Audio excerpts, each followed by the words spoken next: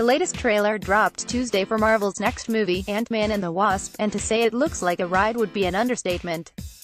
In the video shared on YouTube called Real Heroes, the actual size, fans see a return of Paul Rudd as Scott Lang aka Ant-Man where he appears larger than life before his new partner Hope Van Dyne, also known as the Wasp played by Evangeline Lilly, joins up with him to beat up a lot of bad guys as they face a new foe that has similar superhero traits called the Ghost Watch, as Scott Lang balances being both a superhero and a father, Hope Van Dyne and Dr.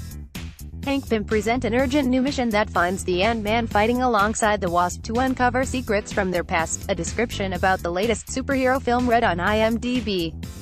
The highly anticipated sequel to the surprising hit Ant-Man is being directed by Peyton Reed with Michelle Pfeiffer playing Hope's mom Janet Van Dyne, Michael Douglas, Hank Pym, and Laurence Fishburne joining the franchise as the character known in the comics as the Black Goliath Dr. Bill Foster. On Monday, a new poster for the latest superhero movie came out on Twitter and it looks awesome. Here's the brand new poster for Marvel Studios.